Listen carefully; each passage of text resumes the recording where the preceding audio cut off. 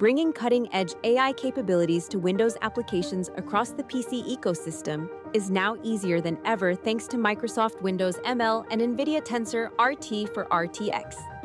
Windows developers are rapidly expanding AI experiences in creative and productivity apps.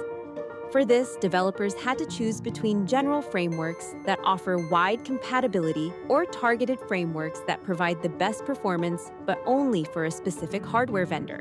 Now, with Windows ML, developers have a framework for inference of AI models across PCs with maximum performance on any hardware.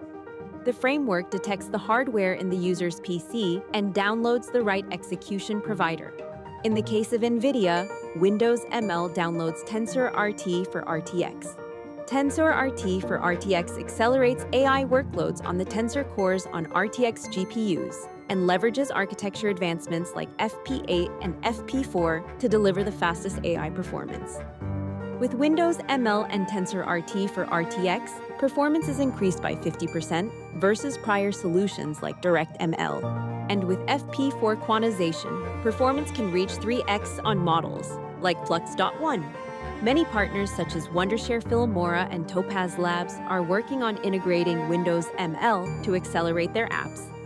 To get started with Windows ML and TensorRT for RTX, visit the link in the description.